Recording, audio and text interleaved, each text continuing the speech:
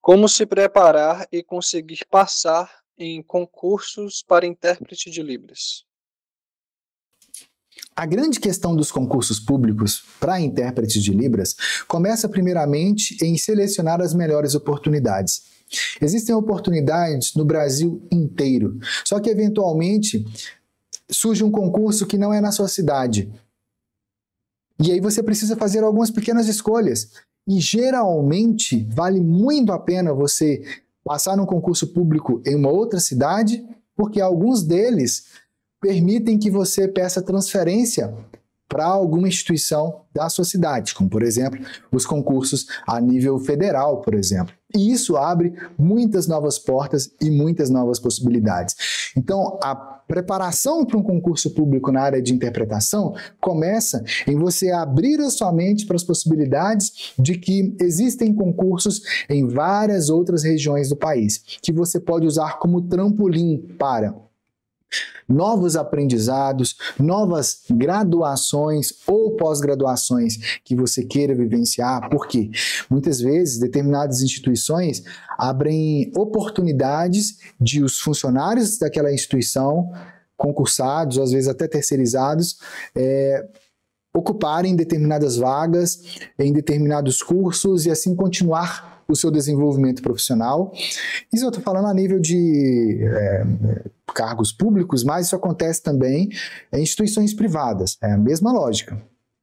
Aqui tem a possibilidade também de dessa continuidade de desenvolvimento na troca de localidade, né, a troca de vacância ou de vaga que você vai ocupar naquela cidade onde você passou no concurso, e poder trocar para uma cidade mais próxima de onde você mora, que assim, não é certeza que isso vai acontecer, mas as possibilidades disso acontecer são gigantescas.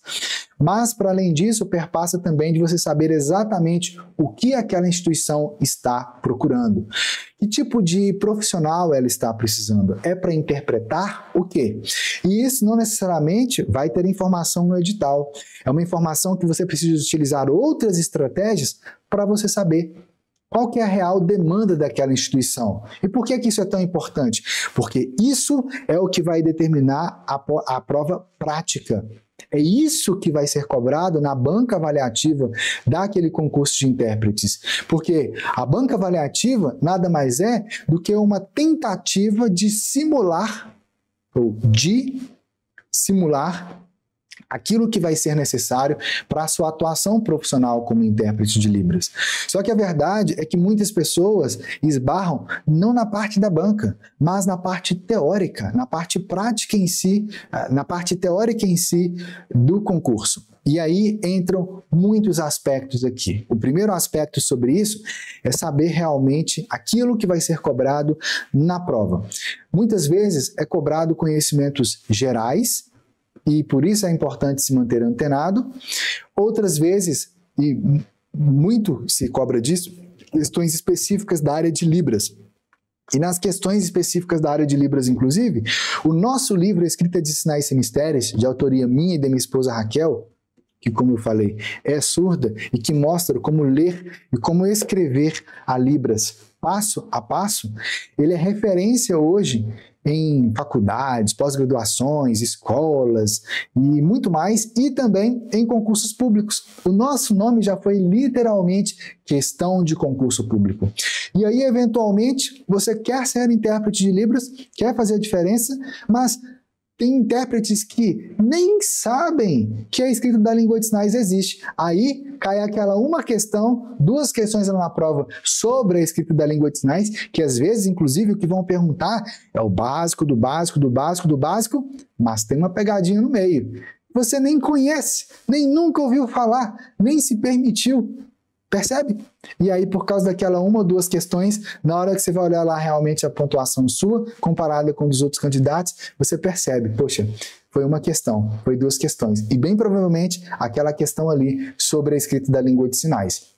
Para além disso, tem as questões legislativas, que são muito importantes também, nas provas de Libras hoje no Brasil, quer seja é, para interpretação, quer seja para o ensino da Libras, e também, uma vez que você é, foi aprovado na parte teórica, aí vem a parte prática, a banca avaliativa, que geralmente é composta por professores ouvintes daquela instituição, muitos deles, inclusive, bilíngues ou intérpretes de Libras, às vezes com intérpretes de Libras, às vezes, quando não tem profissionais daquela instituição na área da Libras, são chamados profissionais de outras instituições para participar. Hoje em dia, isso às vezes acontece até de forma online, e também surdos. Quando tem surdos professores concursados daquela instituição ou terceirizados, ou mesmo professores surdos convidados de outras instituições, é que são os avaliadores dessas bancas avaliativas. Mas o que, afinal de contas, eles estão avaliando? Principalmente se você realmente está preparado para passar informações acadêmicas, contextos acadêmicos da, do português para Libras. E também, se você está preparado para passar as informações interpretando da Libras para o português. E aí, obviamente, existem várias outras nuances. Na verdade, isso daria um curso completo. E dentro dos meus programas de mentoria, eu trabalho de forma direcionada isso também com os meus mentorados que querem se tornar realmente intérpretes memoráveis, se aprofundar ainda mais nisso. Então, a melhor forma de você se preparar para concursos de Libras, concursos de interpretação. É entender o que aquela instituição precisa, abrir-se para as possibilidades que existem, não apenas na sua cidade, mas em cidades próximas ou outros estados, abrir-se para a possibilidade de conhecer mais sobre a escrita da língua de sinais e se aprofundar nela,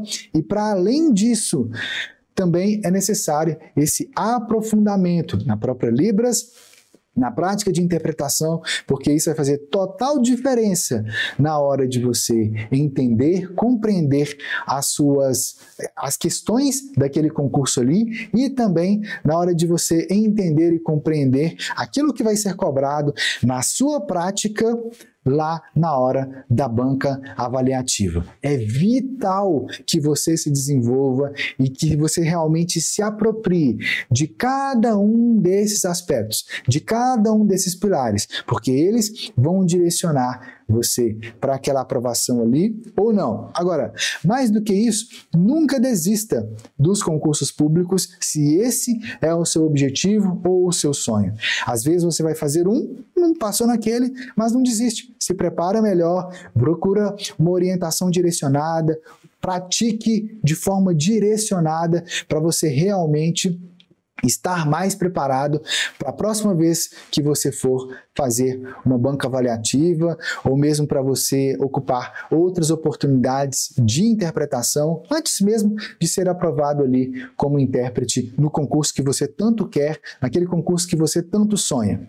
Para além disso, se você quer ter o meu acompanhamento, a minha orientação, olho no olho, ter acesso a todas as técnicas de tradução e interpretação que eu criei, desenvolvi e mapeei ao longo desses mais de 23 anos na área, vou deixar o link logo aqui abaixo para você entrar e saber mais sobre os meus programas de mentoria. Lá tem um botão que você vai clicar, preencher a sua ficha de interesse e meu time vai fazer contato com você.